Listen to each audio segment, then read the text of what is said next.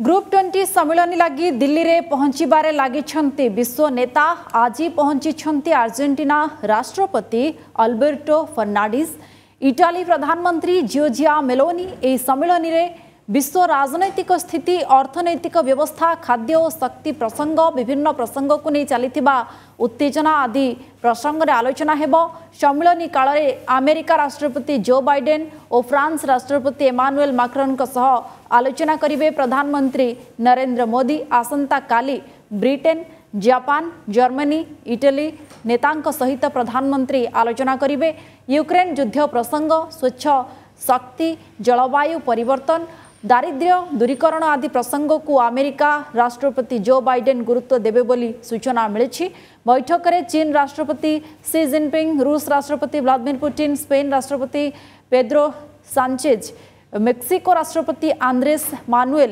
Lopez ଯୋଗଦେବେ ନାହିଁ ଏହି ସମ୍ମିଳନୀରେ Bangladesh Netherlands Nigeria Egypt Mauritius Oman Singapore Spain UAE ରାଷ୍ଟ୍ରମୁଖ୍ୟଙ୍କୁ ଯୋଗଦେବା ଲାଗି ଅନୁରୋଧ କରାଯାଇଛି ସମ୍ମିଳନୀରେ ତିରିଶଟି ଦେଶର ରାଷ୍ଟ୍ରମୁଖ୍ୟ ଚଉଦଟି ଆନ୍ତର୍ଜାତିକ ସଂଗଠନର ମୁଖ୍ୟ ଯୋଗ ଦେଉଛନ୍ତି I must say that the summit is being held at a very critical juncture Because uh, we have been facing all the countries in the world the COVID-19 pandemic. On top of that, it is being compounded now with this conflict in Ukraine and we see also the effects of uh, climate change. That is why it is important for summit like this one, together with uh, other countries, to be able to sit down and see how we can bounce back. For many years, I participated uh, in uh, multilateral uh, meetings.